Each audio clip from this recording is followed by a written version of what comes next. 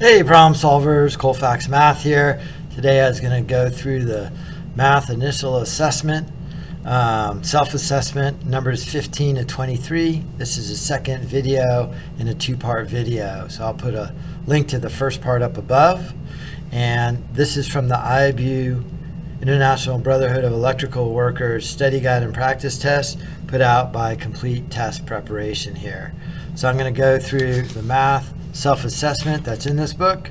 I've done 1 through 14 in a previous video, and in this video I'm going to go 15 and 23. Okay, let's start at number 15. Uh, the notation isn't that clear here, but it's saying the square root of 144. That square root is saying what times itself will equal 144. So you're looking at factors that are the same and I can see that 12 times 12 is 144. So 15 is 12 or D, and that's the only easy one on this whole second part of the test. From here, they just get pretty hard. The first 14, or actually the first 15 problems are like an Algebra 1 class, and now the next um, 15 or so are all Algebra 2, and they get pretty hard. 16 here, you have root 75 plus radical 48 minus radical the quantity 3 divided by 0.01 let me go up here 3 divided by 0.01 I have to move this over 1 2 places so I have to go 1 2 so how many times does 1 go into 300 it goes in 300 times. So this is the equivalent of root 300 these are all dissimilar things, so they cannot be combined. However, I could pull out factors in these, and for every pair, one will come out. So I'm looking at the factors as 75. 75 is made up of a 25 and a 3. 25 is a 5 and a 5. So you make up a 75 with a 5 times 5 times 3. Here it's a pair of 5s. For every pair, one comes out, right? Here's a pair of 12s, one came out. So this root 75 is 5 root 3. The 48 is made up of a 16 and a 3. 16 is a 4 and a 4. So there's a pair of 4s, one comes out. So it's plus 4. There's no pair for that, it stays in. So the root 75 goes to 5 root 3. The root 48, 4 root 3. And then 300 is a 3 and a 100. 100 is a 10 and a 10. There's a pair of 10s. I have a minus sign in the front. Minus 10 root 3. So this is saying I have 5 of these things, plus 4 of these things, 9 of these things, minus 10 of them would give me negative 1 of these things. These are similar objects, so they can be combined, right? I'm saying I have 5 root 3s plus 4 root 3s that's saying I got 9 of these things, 9 root 3's. 9 root 3 minus 10 root 3 is negative 1 root 3, and that's answer A right here. All right, moving on to 17. A plus BI. These are actually, I is an imaginary number. I stands for imaginary, and it's equal to the square root of negative 1. So I is equal to square root of negative 1. I don't know if you have to know that for this, but this is a hard problem. Find one possible value of b in terms of a. Okay, so x equals a plus bi, and y equals a minus bi. x times y equals 5a squared. So I'm going to take this value for x, plug it in here for x. This value for y, plug it in here for y. So I have a plus bi times the quantity A minus BI, and that's equal to 5A squared. So the way I multiply quantities together like this is I take the first term and multiply them A squared, the outer term minus ABI, the inner term plus A times B times I, so minus ABI plus ABI cancel, and then my last terms, negative b squared i squared, and that's equal to 5a squared oops, i squared. So then I got to get b by itself. So I'm going to subtract a squared from both sides. And just like I did with my square roots up here, I combine similar terms. I can do that here, negative b squared, i squared equals 5a squared, minus one of them is four of them, 4a squared. And then lastly on this one right here, I'm going to have i squared is equal to negative 1. Right, so if I square this, I square this, i squared that, and that'll cancel. i squared is equal to negative 1. So I'm going to replace this i squared with a negative 1. Negative 1 times the negative out front here will be negative times negative or positive. So I'll end up with b squared equals 4a squared. Lastly, what I'm doing is solving for b in terms of a. So I got to get b by itself. I got to get rid of that square. So I'm going to square root it. Square root and square cancel. If I do that to the left side, also have to do it to the right side. I do have b by itself. The square root of 4 is 2. The square root of a squared is a. Square root of 4 is 2 square root of a squared is a. So b is equal to 2a. So there's my answer. And there it is right there, answer B. Go down number 18 here. I think I probably need a little more room to work here on 18. Factor the polynomial x to the third, y to the third, minus x squared, y to the eighth.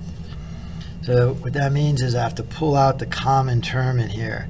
So in this first term, there's x to the third. In the second term here, there's x to the squared. The largest one I can pull out is x squared. There's a y to the third here, y to the eighth here. Largest one I can pull out is y to the third. After I pull those out, after I pull x squared out of this and a y to the third out of this, I'm left with only an x in this term x times x squared is x to the third, y to the third, minus, I pulled x squared out, and I pulled y to the third out of here, leaving me with y to the fifth. So that would be, where is that, x squared, x minus y to the fifth, so that's answer A. The check on that is to distribute this thing through the quantity here. These aren't easy. These are pretty typical hard Algebra 2 math problems. Okay, turning the page to the next problem. I'm told that A is equal to radical 3 minus 1 divided by radical 5 plus 1. And B is equal to radical 5 minus 1 over root 3 plus 1. And then it says, what is the value of A in terms of B? So this thing I'm going to want to say A is equal to some form of B. And then that's going to be the answer here. So I don't even really know where to get started. I'm kind of looking at this thing. I know if I multiply by what's called the conjugate, root 3 plus 1, I'll be able to get rid of a middle term and end up with just a number. So I think that's the direction to go. So I'm going to take this top A value and I'm going to multiply it by a value of 1 so it doesn't affect the value. So whatever I put up here has to be here. And I'm also going to make it the conjugate of this. I'm going to multiply by root 3 plus 1 over root 3 plus 1. So then I FOIL this thing out, meaning I do the first terms, root 3 times root 3, which is root 9, or just 3 the outer terms 1 times root 3 plus the inner terms negative 1 times root 3. So those terms cancel out, and that's the reason why I use the conjugate. And then negative 1 times 1 is negative 1. So in the numerator, I just have 3 minus 1, or 2. And then the denominator, I have this whole thing here, root 5 plus 1 times root 3 plus 1. Not simple, but at least I have a 2 here. So then on the b, I'm going to do the same thing. I'm going to multiply by a factor of 1 so as not to affect the value. It's going to be the conjugate of this, so it's going to be root 5 plus 1 over root 5 plus 1. This and this are equal, so I'm multiplying the whole thing by a 1. And I did the conjugate here to get the middle terms to drop out. So I multiply the first terms together to get 5. The outer terms, root 5. The inner terms, minus root 5. So root 5 minus root 5 cancel, minus 1 or 4. And the denominator is the same, right? It's root 5 plus 1 times root 3 plus 1, which is what I have here. Multiplication is commutative, so it doesn't matter the order that I multiply them. So I have root 5 plus 1, that there, times root 3 plus 1. So now I can see that A is equal to 2 over this, and B is equal to 4 over this. And actually, I don't even really care what the whole bottom thing is, because it's the same in both.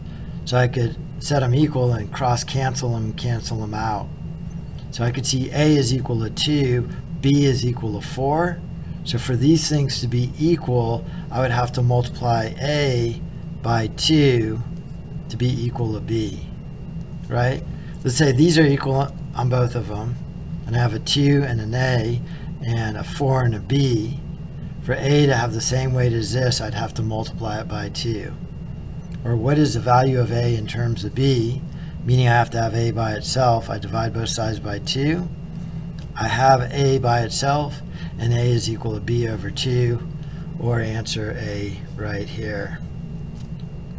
Not easy. That one's, I mean, that one's out from left field. Uh, that's the hardest problem in this whole thing for sure. Okay, on 20 here, use the factoring method to solve this quadratic equation. So a quadratic is something x squared minus something x minus a constant c equal to 0. The way I factor it is I'm looking for two quantities multiplied together to equal 0. And then I'm going to take the factors of x squared, which are only an x and an x, and then the factors of 6 multiplied together to give me a 6, but added together to give me a midterm of 5. So a 3 and a 2 seems like it'll work, but it's not going to be able to give me a negative 5 in the middle. So I'm going to try a 6 and a 1. For the, this to be negative, one of these has to be negative and the other positive. So we'll try the negative here and the positive here and see if that works. The way I check my work here of factoring is by multiplying it out. x times x is x squared minus 6x, so x squared minus 6x, inner term, outer term, plus 1x minus 6. I combine these terms to get x squared minus 5x minus 6. So I factored it correctly. Then the next step is I'm saying right here, uh, this thing right here times this thing is equal to 0. So that means either x minus 6 equals 0 or x plus 1 equals 0. Solving for x, I add 6 to both sides x could be 6 and I get a 0. Subtracting 1 from both sides, x could be a negative 1. Negative 1 plus 1 is 0. 0 times anything would be 0. So those are my two possible solutions, and I'm looking for uh, 6 and negative 1. Oh, I don't see it there. Oh, there it is. 6 and 1 right. No, 6 and negative 1 right there. So there, there's the answer to 20. Um, by no means will you be able to learn all of this stuff by me just doing some sample problems, but I'm hoping if you had it before, this will be a good review for it. Okay, find two numbers that sum. Sum means add to, sum to 21. So I want two numbers that sum to 21 and the sum of their squares. So if they're squared is 261. So I have two equations, two variables, might be able to eradicate some answers if they don't even add a 21.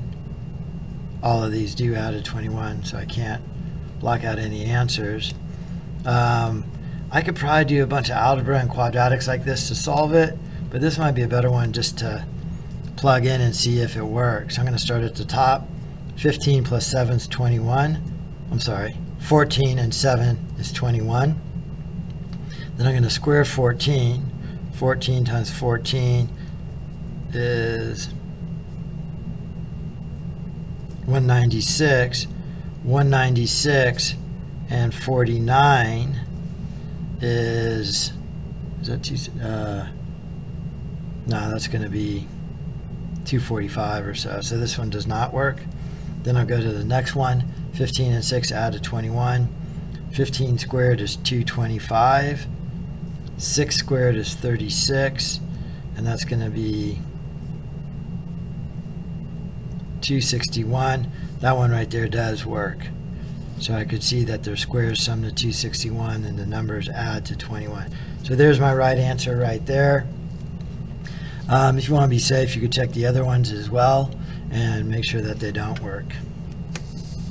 Okay, 22. Using the factoring method like we did above, above solve the quadratic equation. So the factors x squared again are going to be an x and an x set equals 0. Factors of 4 multiplied together to give a 4, so it could be a 4 and a 1 or a 2 and a 2. And the middle term is a 4. So the only two things that are going to add together to give me that 4 from the factors of 4 will be a 2 and a 2. Either they're both positive or both negative. To get that middle term of 4x, they have to both be positive. Again, the check is x squared first, outer, plus 2x, inner, plus 2x, so x squared plus 4x, last, plus 4. So I can see I did factor correctly. Either this equals 0 or this equals 0. They're the same thing. So either x plus 2 is equal to 0. Subtract 2 from both sides. x is equal to negative 2. And there's my answer, D right there. Let's turn the page. And here's the last one. And this one looks really ugly and scary, but actually isn't too bad. Um, it's just really about combining similar terms. There's no value I have to distribute through any of this quantity. If this were, say, minus, I would have to distribute that negative through every one of them, but it's not. It's all plus. So I'm going to start with the y to the fifth. So here's 3y to the fifth, 2y to the fifth, which is going to give me 5y to the fifth. Then I'll go to the fourth. Here's 1 y to the fourth. I think that's the only one. So plus y to the fourth.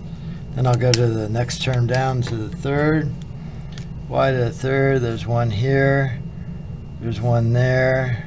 I think that's it. So plus 5y to the third. Then we'll go to y squareds. I don't see any of those. I could probably finish right now and see that it's going to be the first one, I think. It's the only one that's going to have those terms. But I'll keep going. y to the squared, none of those. y, here's a negative 2y and a positive 7y. So that'll give me 5y. And then lastly, the numbers, there's a 5 right here and a 2 right here, so plus 7. So combining similar terms, that's what you end up with, which is going to be answer A. It's right here. Uh, I'd really love to hear what you're go what's going on with you in the IBEW test. If you're just preparing, if you've taken it before, um, if you need any help or any other problems or kind of tests I could go through on video, let me know in the comment section below. If you like the video, go ahead and hit that like button and think about subscribing um, to a practical math channel. This is uh, Colfax Math, kind of the practical math channel. I teach high school woodshop and math both. So I was in the trades for years. I still do side work in the trades.